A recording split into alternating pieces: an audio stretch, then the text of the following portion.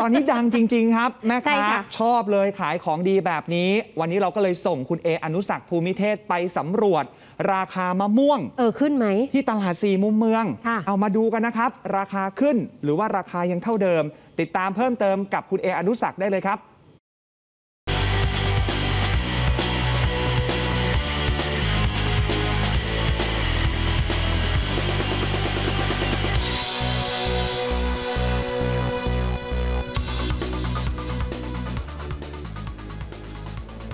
ครับคุณผู้ชมครับวันนี้นะครับพ่อค้าแม่ค้าขายมะม่วงที่ตลาดสี่มุมเมืองต่างรู้สึกปลื้มอกปลื้มใจเป็นอย่างมากนะครับเนื่องจากยอดขายเพิ่มสูงขึ้น หลังจากที่เกิดกระแสมิลลิโชว์นะครับบนเวทีโคเชล่า 2022 นั่นเอง ส่วนป๋าเต็ดยุทธนานะครับออกมาเปิดเผยว่าการโชว์ของมิลลินั้นทำให้เกิดปรากฏการณ์ซอฟต์พาวเวอร์ที่สร้างแรงสั่นสะเทือนให้กับสังคมไทยครับ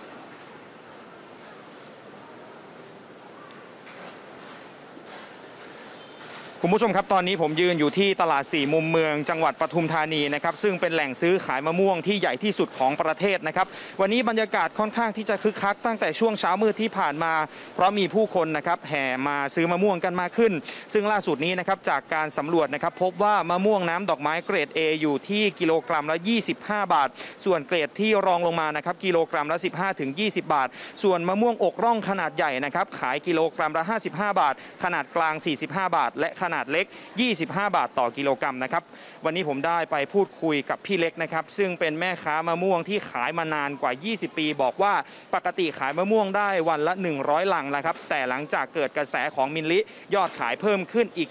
30%ซึ่งตนเองนั้นรู้สึกดีใจเป็นอย่างมาก อยากขอบคุณมินลินะครับที่ทำให้ขายของได้ดีขึ้น และคิดว่ากระแสของมะม่วงและข้าวเหนียวมะม่วงนั้นจะขายได้ดีอีกสักระยะหนึ่งครับ จากคนละ5ตะกร้าก็เป็น 8 ตะกร้า ในห้างใช้อยู่ 15 ตะกร้าก็เพิ่มเป็น 25 ตะกร้า เราก็สุขรู้สึกดีนะคะทำให้การค้าของเรารู้สึกดีขึ้น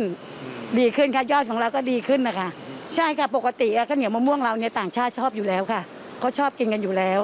ยิ่งมีกระแสอย่างนี้เราคิดว่าต้องดีขึ้นอีก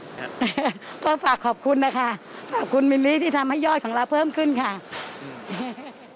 ส่วนในมุมมองของป๋าเต็ดยุทธนาบุญอ้อมนะครับผู้คร่ำหวอดในวงการดนตรีของประเทศไทยเห็นว่าการโชว์ของมิลลินั้นนอกจากจะน่าชื่นชมแล้ว ยังเป็นการจุดประกายให้เห็นด้วยนะครับว่าการเป็นศิลปินระดับโลกนั้นไม่ได้ไกลเกินเอื้อม ที่สำคัญซีนที่กินข้าวเหนียวมะม่วงของมิลลิบนเวที ยังกลายเป็นซอฟต์พาวเวอร์ประจำชาติ สร้างแรงกระเพื่อมให้กับข้าวเหนียวมะม่วงในโซเชียลและใน on ground ด้วย แต่นี่ยังเทียบไม่ได้นะครับกับซอฟต์พาวเวอร์ของเกาหลี ซึ่ง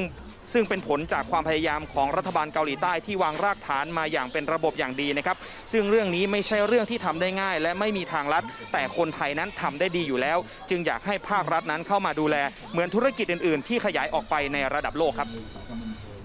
แบบว่าโคเชล่าเที่ยวเนี้ย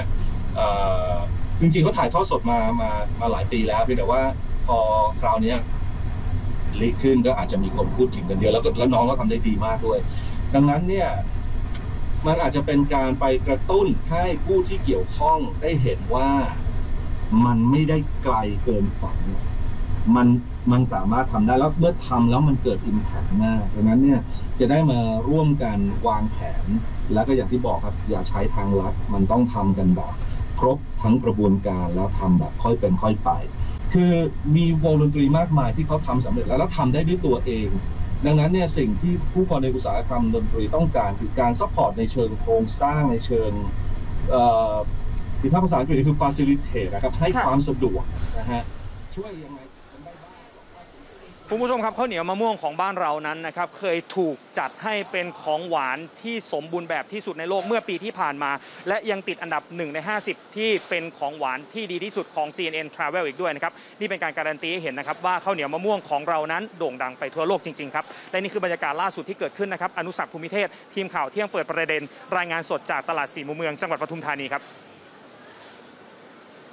นะครับ รายงานสดเมื่อสักครู่ขอขอบคุณ AS 5G ด้วย ค่ะ อันนี้จานนิฟนะคะคุณผู้ชมอยากจะให้เห็นจานน้องแชมป์ไปแล้วค่ะ อดใจไม่ไหวจริง ๆ แหว่งไปเรียบร้อยน่ากิน อร่อยนะคะอร่อยด้วยครับ อ่าเดี๋ยวนิฟขออนุญาตทานไว้หลังจบรายการไม่พลาดแน่นอน